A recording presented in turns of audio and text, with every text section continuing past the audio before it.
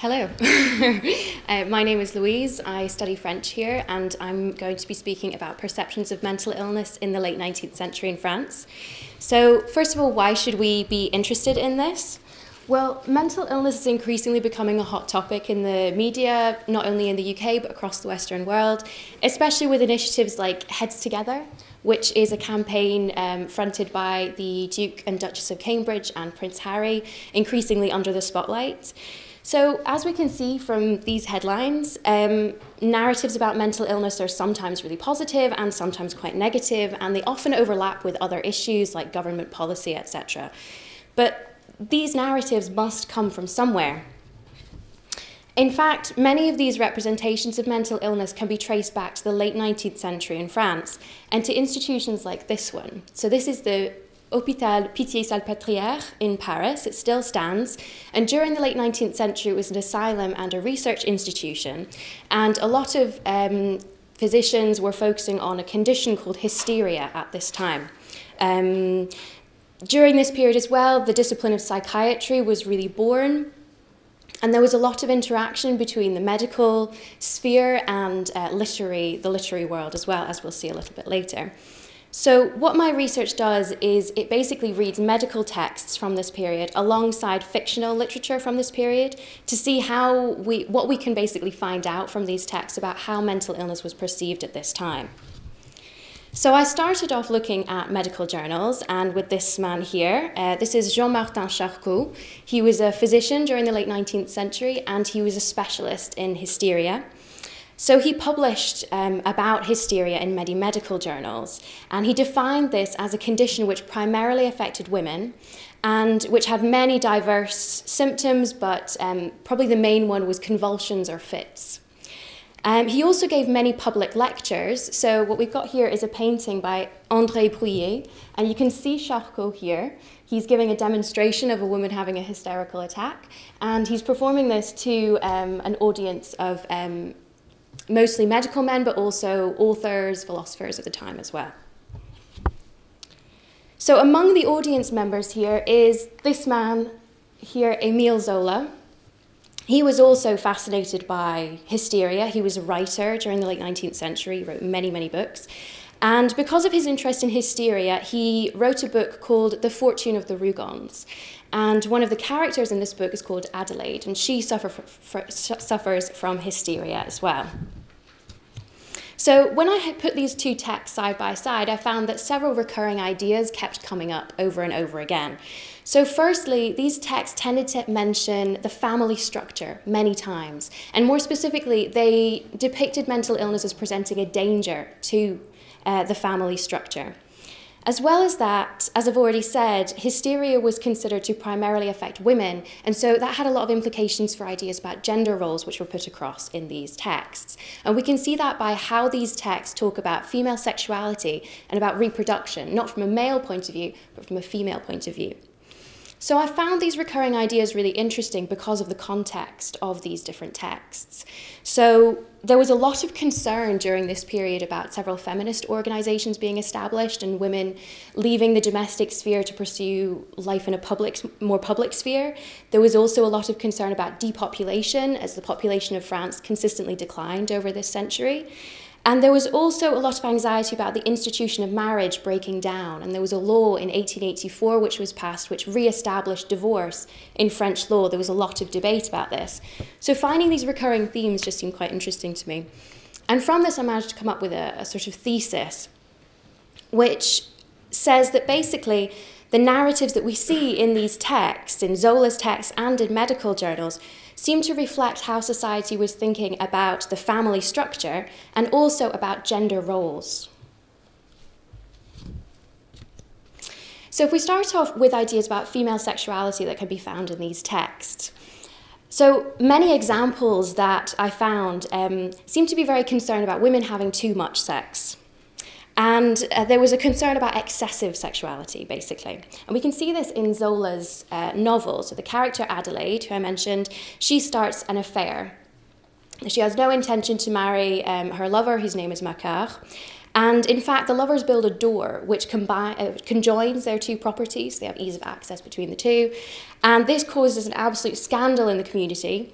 And because of this choice to, to start an affair and to build a door, um, her neighbours call her quite mad and argue that she should have been locked away years ago. So, what we can see here is that the fact that Adelaide is having an extramarital affair is an indicator of her mental illness to her um, neighbours. We can see real similarities between this perspective and also um, ideas that can be found in medical journals. So, I've got a quote here from a medical journal which was giving a, a court, it was basically a court case. And in the court case, the doctors were trying to prove that the woman who was being accused of the crime couldn't be held responsible because she was hysterical. And the proof that they gave for this diagnosis was the fact not that she had lovers, but that she had a reputation for having lovers. So again, um, too much female sexuality was considered an indicator of mental illness. And it's worth noting that in both of these texts, male patients and the male characters, their sexual lives are either not revealed or they're lauded and praised. So for men, you have um, their sexuality is considered an, associated with virility, whereas for women, it's an indicator of requiring treatment. So, so what we've got in these examples is an image of femininity that looks a lot like this. So too much female sexuality is dangerous, but actually, so is too little. After her lover dies in Zola's novel, um, Adelaide descends into madness, and this is emphasized by the fact that she's referred to as a nun or compared to um, a nun several times over the course of this. So you can see that she's compared to uh, a pale faced old nun, she's compared to a young girl forced to en enter a convent. Uh, so, really emphasizing her celibacy and how this is extreme. Um, Again, very similar in medical journals. In most of the case studies which accompanied uh, female patients' details, uh, the doctors tended to um, provide information about the patient's religious backgrounds. This was not provided for many male case studies at all. So here we can see that the fact that the patient was raised in a convent and that that might imp impact her ideas about piety and sexual sexuality might maybe be considered um, a, con a contributor to her mental illness. So in these examples, mental illness looks a lot like this, which is a bit different. We also see a real preoccupation with reproduction at this time, which is really interesting because there was a lot of current concern about depopulation, about the decline, the slow decline of the, of the French population. And this concern was really not ascribed to men in these texts. Um, it tended to correspond a lot with the female reproductive system. So if we look at Zola's text, mental illness tends to correspond with interruptions to the menstrual cycle. So, with the character of Adelaide, when she has her pregnancies, she has uh, these nervous attacks and these terrible convulsions, which sound a lot like what Charcot was describing when he talked about hysteria. And then after her pregnancies, these convulsions return once a month, which implies that they're tied up in some way with her menstrual cycle. Meanwhile, um, in medical journals, uh, uh, a theory of hysterogenic zones was being developed by Charcot. So he claimed that by compressing these areas of a female body, which are indicated by the black ovals, um, that a hysterical attack could be brought on, ceased altogether, aggravated. Basically, you could control a hysterical attack by compressing these areas. So as we can see, these areas are literally mapped onto a female body, not a male body. And they collate around the ovaries and the breasts, again indicating a preoccupation with reproduction. So, what we've been given are two very extreme versions of femininity, and both are considered to be sick. So, what does that leave us for healthy womanhood? Well, I would say that if this is sick and this is sick, then what is left is a perfectly moderated woman, a woman who is married, a woman who wants children, a woman who is totally devoted to her family, i.e., a woman who completely conforms with the gender roles of the, the gender norms um, of the day. So, how does this relate to the family structure? Well, during this period, there was a lot of concern about the family unit deteriorating. And we can see this in Emile Zola's novel, in which he really ties concerns about familial deterioration in with mental illness worsening. So, at the start of the book, Adelaide's husband dies, and this leaves her with a fatherless child. She then starts an affair, which, as we've seen, um, contributes to her mental illness, it aggravates it. She then has two more children who are illegitimate. And because of her mental illness, she is unable to care for or guide these children, leaving them without a traditional father figure and a traditional mother figure. So, we don't really have an ideal family structure um, in this novel, and that's really tied in very, very clearly with her mental illness. In medical journals, uh, this can be compared with, with medical journals' discussion of infanticide. So there are several case studies of uh, parents, mostly mothers, attempting to murder or murdering their children. And this is one example that I found.